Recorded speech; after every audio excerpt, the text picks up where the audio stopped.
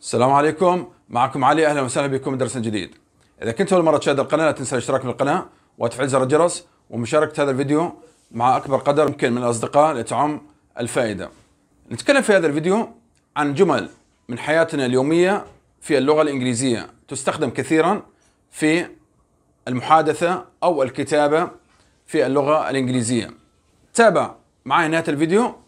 هناك الكثير من الملاحظات والعبارات التي تطور من مخزوننا اللغوي في المفردات والجمل وكيف أطور من محادثتي في اللغة الإنجليزية. مثلا نقول لا تسبق الأحداث، يعني لا تستعجل النتائج أو لا تعطي حكم مسبقا قبل ما تكتمل الصورة كاملة. Don't jump to conclusions. Don't jump to conclusions. لاحظ don't هي اختصار ل do not. نختصرها دائما اختصار أفضل don't. jump to لاحظ conclusions نتائج يعني لا تقفز إلى النتائج يعني لا تسبق الأحداث. Don't jump to conclusions. كيف نقول كن صبور؟ كل شيء في وقته في حينه في وقته المناسب. Be patient. All in good time. Be دائما بداية الجملة نترجمها كن. Patient صبور. أيضا نعرف patient يجي معناتها مريض لكن هنا صبور. Be patient. نضغط على البي كن صبور. All.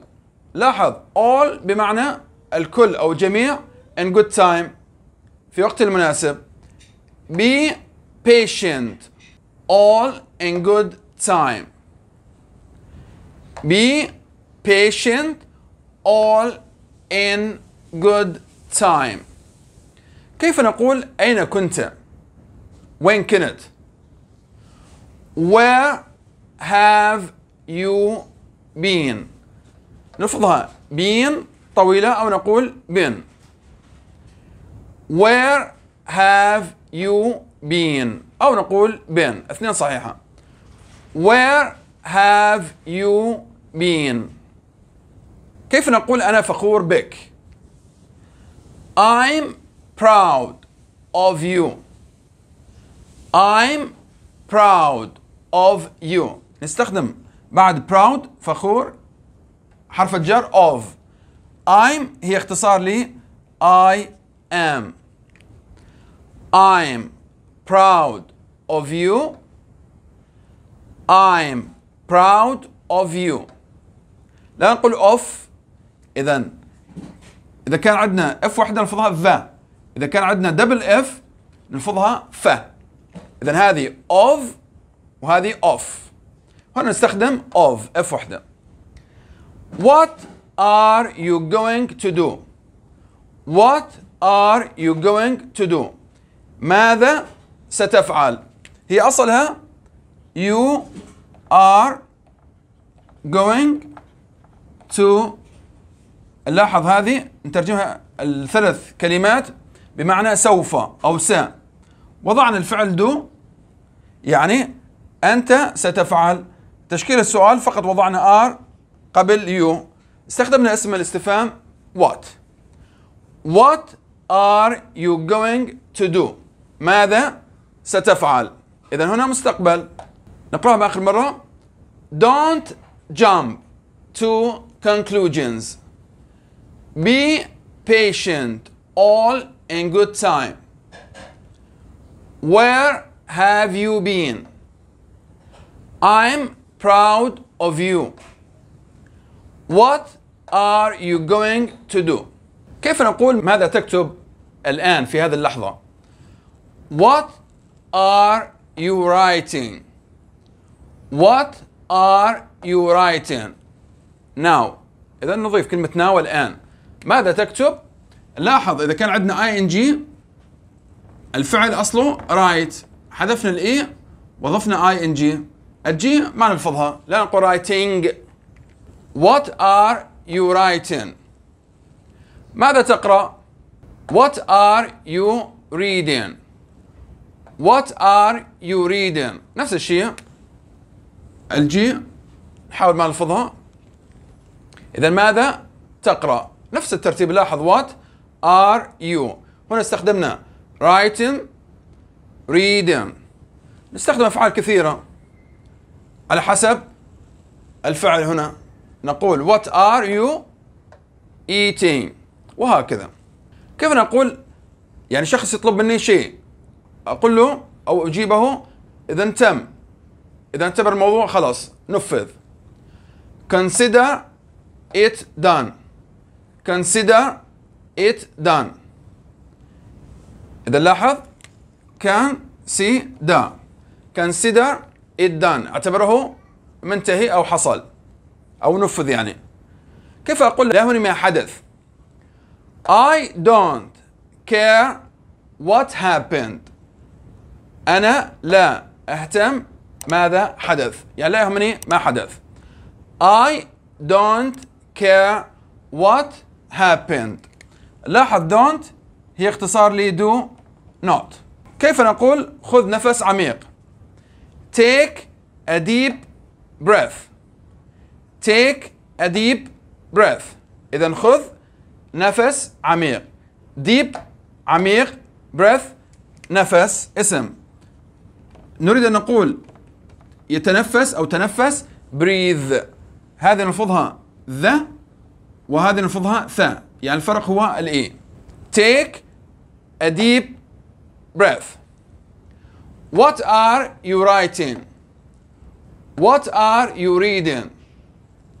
Consider it done I don't care what happened take a deep breath كيف أقول بالمناسبة by the way by the way لاحظ وين منتهي AY أي كلمة تنتهي ب AY نلفظها A مثل عندنا كلمة they we may say إذا دائما AY نلفظها A by the way.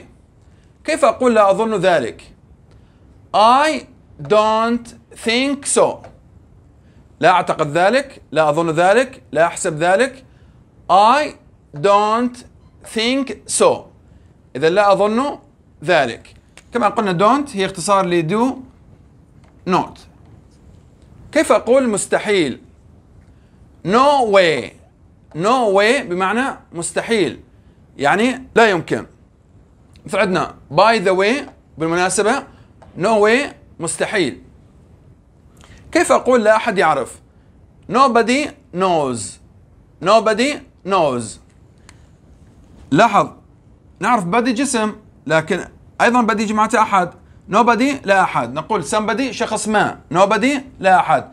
Knows يعرف. هذا ال s s المفرد الغائب. لماذا؟ لأنه عندنا nobody مفرد. إذا كان الفعل مفرد بحالة ال present simple مضارع البسيط نضيف s s المفرد الغائب. هو أصل الفعل know.